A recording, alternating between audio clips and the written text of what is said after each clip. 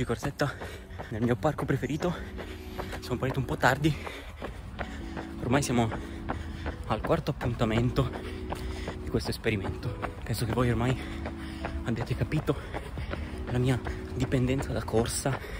Nato un po' tutto per caso, però adesso un po' di tempo che vado senza troppi problemi. Ha due difetti principali questo tracciato. Il primo, più grande, al ritorno è tutta in salita.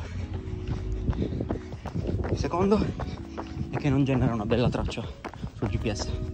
Avevo detto che il tracciato non era granché. Però dai, anche questa l'abbiamo portata a casa. Sono molto contento. Adesso doccetta. Poi volevo fare ghiaccioli oggi. Allora, ghiaccioli al limone, perché mm, a me piacciono al limone o all'anice, l'anice non ce l'ho e poi non verrebbe blu e quindi facciamo i ghiaccioli al limone. Quindi spremiamo il limone.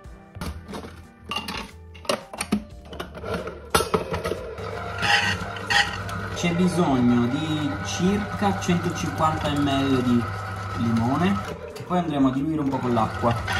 Penso che forse tre limoni possono bastare, anche se questi qua sono un po' piccoli.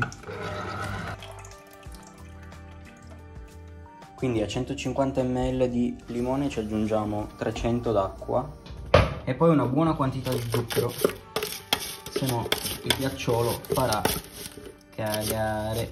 Secondo me ci vanno minimo 4 cucchiaini, però ne metto 3 e poi vedo.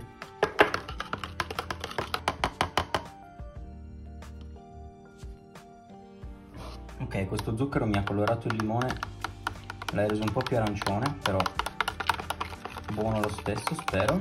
Siamo pronti per metterli negli stampi. Mi fermo un po' prima perché sono davvero grandi questi stampi. Con queste quantità me ne dovrebbero venire circa 6. E poi freezer. Con una roba così posso andare solo in piscina. E niente, in fin dei conti non sono stato molto bravo a vloggare questa settimana.